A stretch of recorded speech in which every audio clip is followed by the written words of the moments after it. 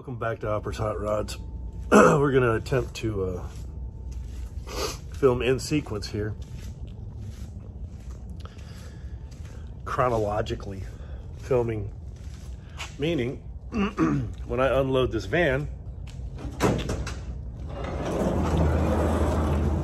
of all the junk in it, before I set up a light or anything, I first have to uh, unload the tripod. I took it with me on this last trip. I never used it, but I loaded it and unloaded it probably four times. So let's get the uh, garage door open, let a little light in here and uh, start cleaning it out. Mm. And we'll get some music going. So, uh, you know, cue the music.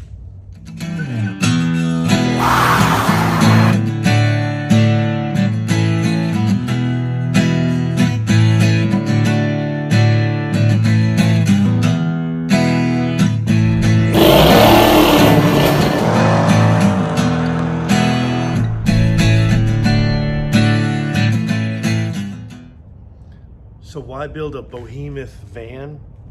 Well, stuff. If you got a lot of stuff, then you need a place to put a, put a lot of stuff. There's like holes in this shirt. why build a van? To hold all your junk. If you got a lot of junk, just think of it as a big trunk. I'm planning to film this episode in sequence but I'm still gonna trim a lot of fat out of it. So as I pull things out, it'll probably be kind of jumpy, but I'm just gonna identify all the stuff that I'm pulling out in case you're wondering, what does somebody carry with them on a typical road trip? My DeWalt circular saw. I like the DeWalt tools. It's 20 volt, brushless, so you don't brush things with this. This is mainly for cutting.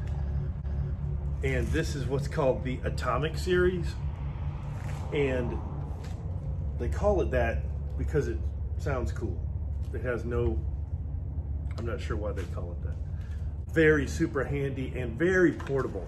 This is the larger battery, but super portable little thing. I like this guy. Did not intend to leave this in the van. This is my mobile office, portable office. I think this is an Eddie Bauer brand thing, but it is super, super convenient. It's got a clipboard on the top, pockets, file dividers. I love this thing. Now, here we have tripods. Short one for low angles and under the car. Just another regular tripod besides the one I use because now I have an iPad I may be able to do camera A, camera B. Ooh, hold on, I got an idea. When I get the uh, video bag out, I'll set up a camera A, camera B, and show you why I have the extra tripod. My electrical tools, mostly like for, um, you know, electrical tools.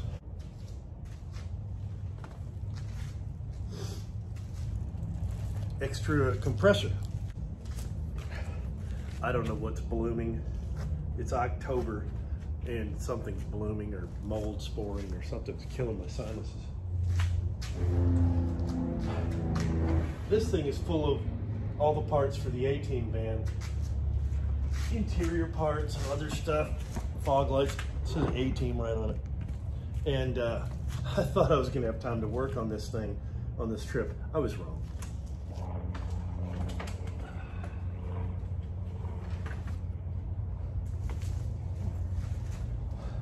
Like bags and boxes. This, this is my uh, video bag that contains uh, some lights and another little tripod, other mounts, and uh, oh, here's the one for my iPad. Hold on, let me show you the thing. These things just clip on. This has a uh, a little level built right in it, which is kind of nice. And that way, there's your pan tilt zoom. if you've never used a tripod, this is how hard it is to do. Not.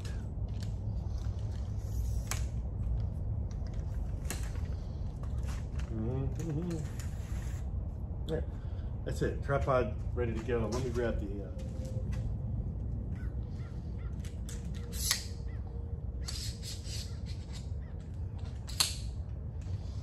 I've never tried using this with this case on here, but I, honestly, I think it'll probably work work okay. Just to squish it down. I mean, it's not like I'm going to be throwing it across the room. What did I just say? We'll see what happens. We have to uh, change it. Oh, let's turn the thing on. So I never had an iPad before. Um, it's diabolically similar to the iPhone in all respects that I have discovered so far. So let's just crank down on that. Let's just do that. Let's, all right. So we can put this here, go video. Ah, video this way. So now with this, I can have camera one and camera two. Where's the camera on this thing? Right here. Okay. So I should probably put something there so I know I'm looking at the camera so I don't look like I'm wall-eyed. All right, let me clean that off there. It's a little better. Now, camera one, camera two. Camera one, camera two. Camera two, camera one. Um, let's go camera two over here.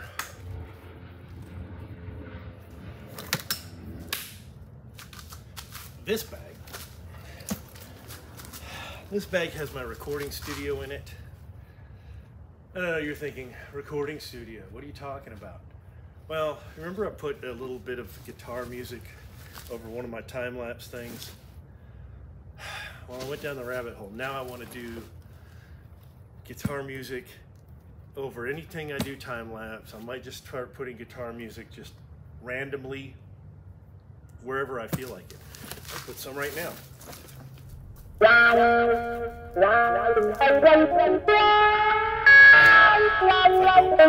bother to actually put it on here, it's gonna look stupid. Okay. Anyway, you get the idea.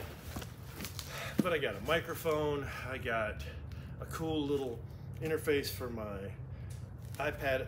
I'll show you the whole studio setup in a future video.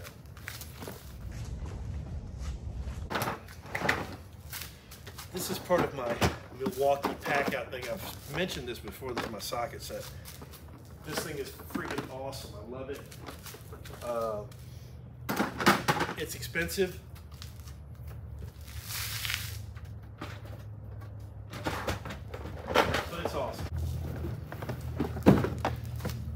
Here's the bottom part. It's got removable trays. I got stuff down here. You don't leave home without a Dremel tool. this is the base that I chose. This one has wheels and handle on it. To make a different one, it has like so you can uh,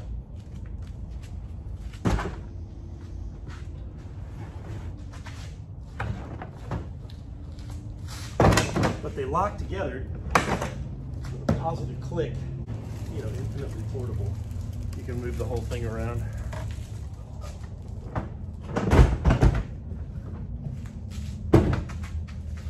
Yes, I pack an empty box. Hey, you know what I just realized is also in my, uh, let me go to camera one.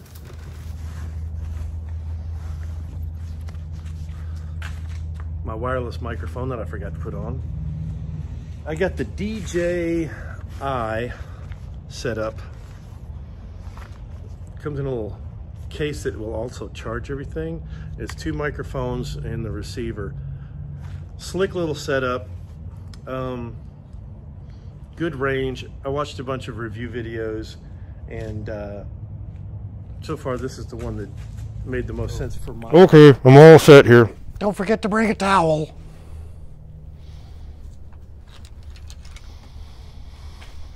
Man, I have no idea what's going on. This, not everybody has this, especially not a mobile set. That's uh, dirty laundry.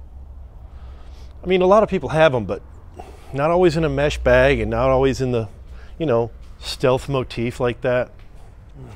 I agreed to do this format of video because I kind of like went down the rabbit hole of everyday carry, EDC, uh, tools, and what people carry every day. And so I thought if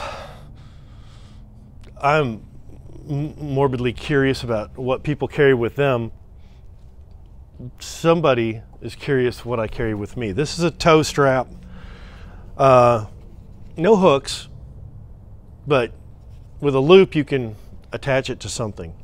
Anyway, toe this strap. is a bag of straps, and uh, I had a trailer with me uh, in a motorcycle, and I had uh, to pick up lumber, so I got these little cool strap protectors that go over the edges of lumber so they don't fray your straps, and it's just a bag of straps and stuff.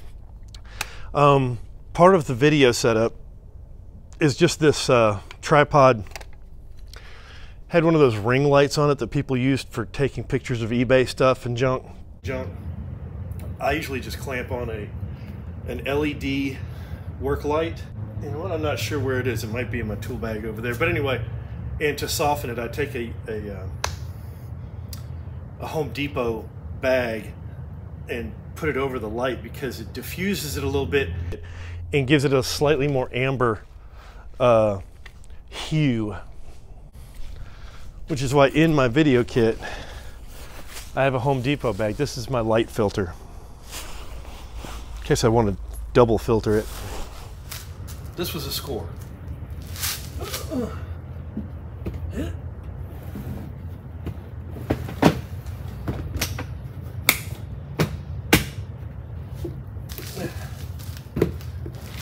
I was doing some work and it's dusty as crap, but it's a uh, it's a nice. Well, it's not nice. It will be a nice Pelican case. it's still has all its latches and everything. It's not it's not completely beat up, but all my DeWalt power tools were in a bag, so I just stuck the whole bag in this.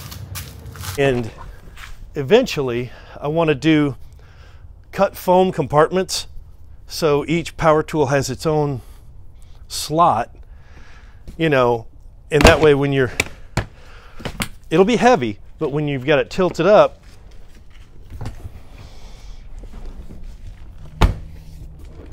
well, see when you're rolling it this way, oh, this even has a little trigger here. When you're rolling it like this, all your tools won't be banging against each other like they are right now. We'll be transferring to the back of the van in just one minute, but this camping gear, I'm still to do motorcycle camp setup, but I'm going to start by doing, um, what do you call it, a, uh, a van camp setup. Because that way, if the sleep system I got is just the worst and I can't get comfortable on the ground, I'll have a backup system I can hit in the van and uh, maybe I'll prefer van camping to motorcycle camping. That's going to be a uh, an ASMR, AMSR, SMAR, SR. It's going to be one of those audio response. When I travel, I carry. I like hot tea. I like it, so I carry this thing that has my collection of hot teas. I like green tea, black tea. These also belong in the camping here. My folding chair and little cook thing. It, won't be too complicated. It'll be like Hopper's camping adventures or Hopper's gear review or Hopper. We'll think of something. You're gonna get the whole behind the scenes. I may be laid up for a bit, so I'm gonna grab a I'm to do some extra footage so I can keep stuff coming uh, even if I'm laid up. Episodes that might or might not be interesting, may or may not, might All right. I'm gonna go medieval on your ass. Paint something and then burn it off with an antique blowtorch. I will never use this thing, but I will never get rid of this thing. It's just a beautiful object. The shape, the, the, the how you fill it, the how it works with the little pump deal. It's just I dig it. There's a wasp nest inside. I can't tell. You can't. Anyway, and this is a touch-up gun. A something 3HTE2 HVLP, which I know that that's high volume, low pressure, but it's Italian. Anyway, I really just thought this screw-on regulator will come in handy because we're going to do a paint project and it's sitting over there. Hold on, I'll point the camera. Because at some point, hopefully in the very near future, we're going to do a paint project and it is uh, can you see it? It's just over the top of the Mercury. We'll have to make that thing completely death proof. That's your clue. Honey, crunchy peanut butter bread, all important stuff here. This is my second one of these. It's a jump box and an air compressor. And the first one I got worked fine. It's more than that. It's also USB charging. It's a uh, power inverter also. Um, and it's got of course LED lights on the front and back so it's kind of a good thing to have like if the power went out in your home you can use this to charge your telephone you could even use it to power up uh, small AC things like if you had a uh, something small I don't know if you wanted to just turn on a fan for a while you could plug it into this you wouldn't need a DC powered fan you can run your regular little you know, desk fan just to have some air moving. At any rate, we're going to try this one. If this air compressor craps out, then I will give it a bad review. Until then, uh, it works fine for jump starting. This is part of my video setup. This is this is my video light. It's very it's bright and it's a little harsh. It's just why I sometimes put the Home Depot bag on it. Oh, I forgot to set up the camera B camera. Mm-hmm.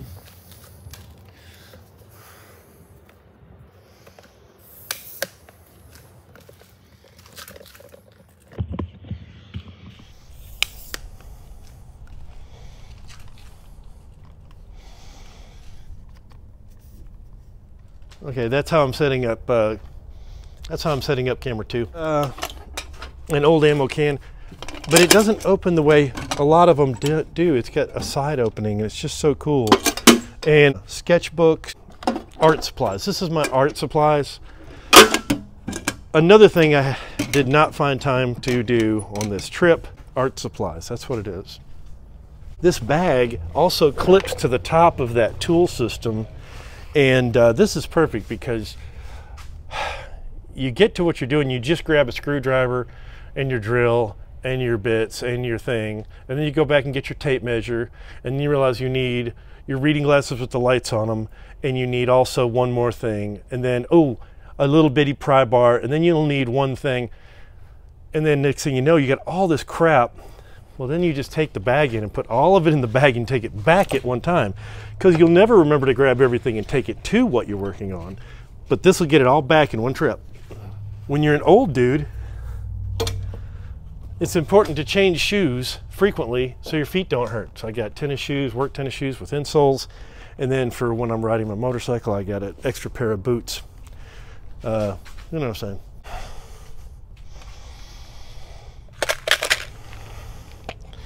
You know I play the guitar, so inside this uh, icebreaker ice cube still smells like chewing gum. I have a plethora of plectrums. You've seen the Mustang.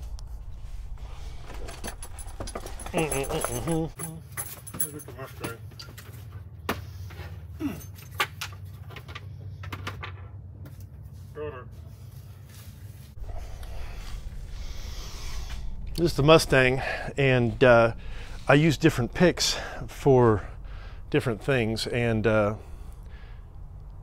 this pick is a limited edition. You can't really get these, so don't you you Google as you might, you can't find one of these. This is a uh, KW50 and it is a custom pick in every respect from the color to the lettering, not so much the shape. It's a, it's a heavy gauge and you might as well be playing with a silver dollar really. It has a very little flex, but uh, anyway. So these are guitar picks and they belong in this thing here, I'll show you. This is another cool little box that I keep my uh, guitar stuff in. There's a little guitar cleaning cloth. I've got extra strings, um, straps, 9 volt battery. This is uh, it's called a tremolo arm, and it's it's what you see on the guitar when they do this.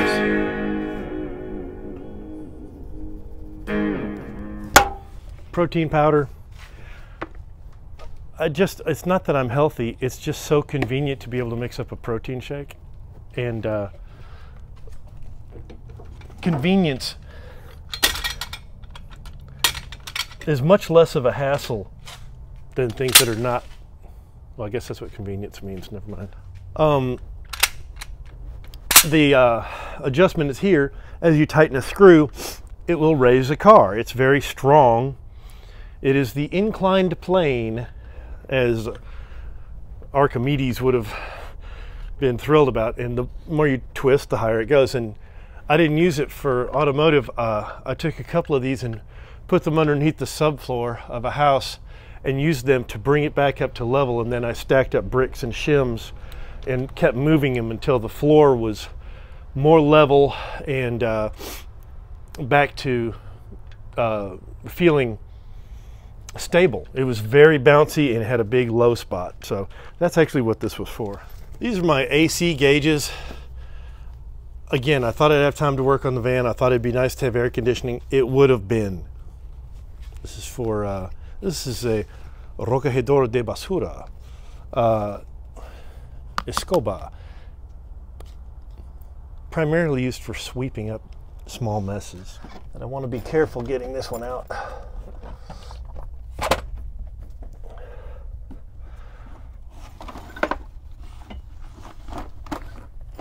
This is all the hole saws and bits and drill bits and you know when you put a lock set in a door you have to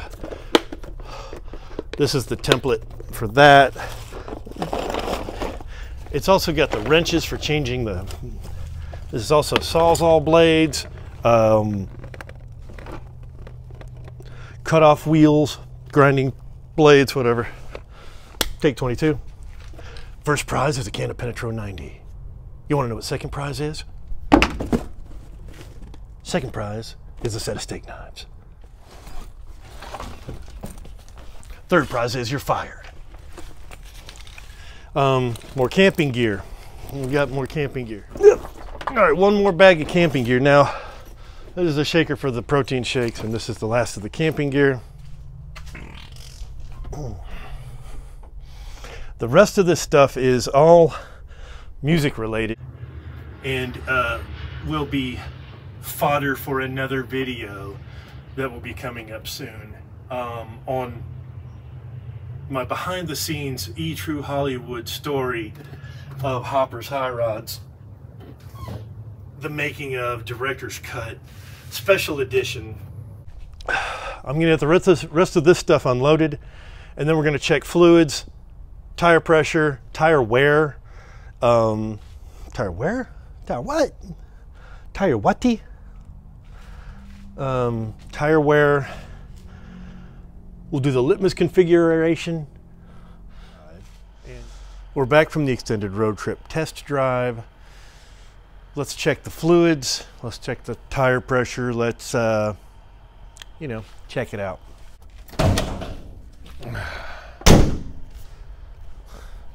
There's really no need to get too in depth, but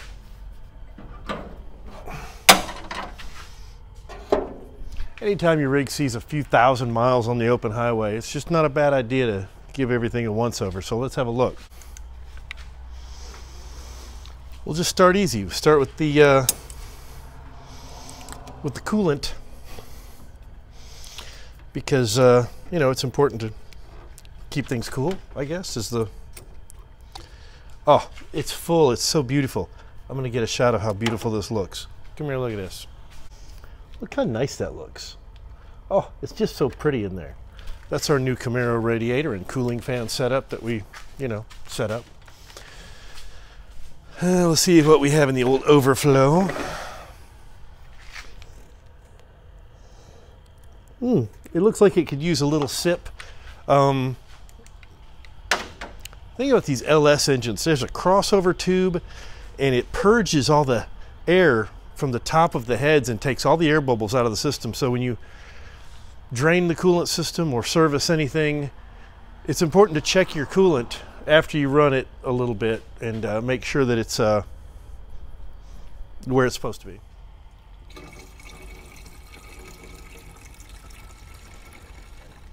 There's a big window on the side of this thing and I think that's probably where it's supposed to be, so that's where we're going to put it. You know, most good mechanics will tell you that if you remove your dipstick and there's nothing on it, then you're you need to order a longer dipstick. I mean, most fellows wish they had just a little bit longer dipstick. Look, it's perfect. Look how perfect. Look how perfect that is. That is perfect perfection. That's what that is. Everything's looking good under the hood for right now. I'll still give it a quick check for anything that looks like it's leaking. Any oil around the crankcase ventilation. We'll get it on the lift later and check underneath for anything weird. You think checking the oil and checking the air, you'd be done. Oh, would that it were so simple. Would that it would that it were so simple.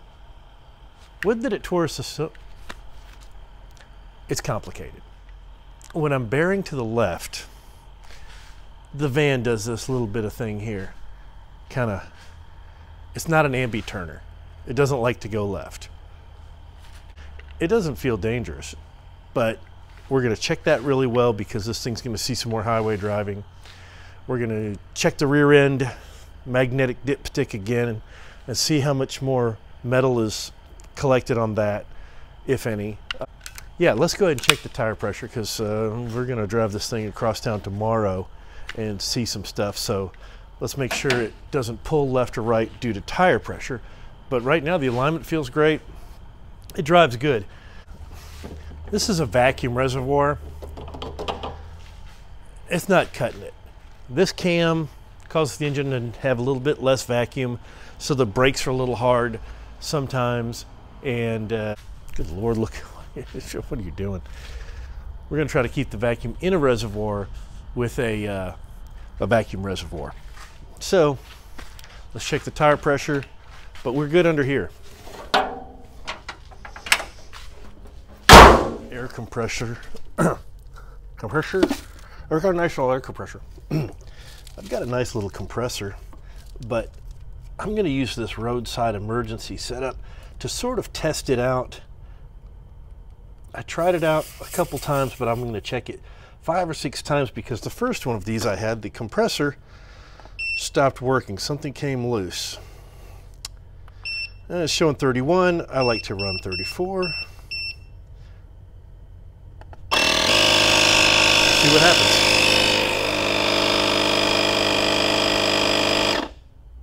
And it shuts off automatically when it gets to the correct pressure, which is kind of nice.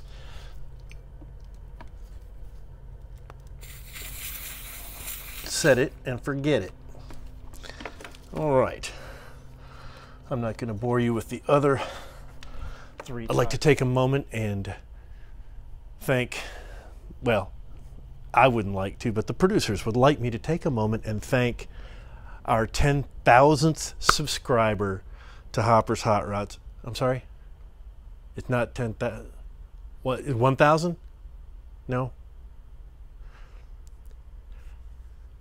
Ah, I'll thank our Patreon, our uh, no, we don't do none of that.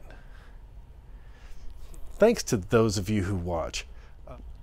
I would then take a moment to thank those who enjoy the blatant theft of the Vice Grip Garage format. And I'm not supposed to say that. But if you ever watch Vice Grip Garage, it's the, he does this but way better, and he's funny.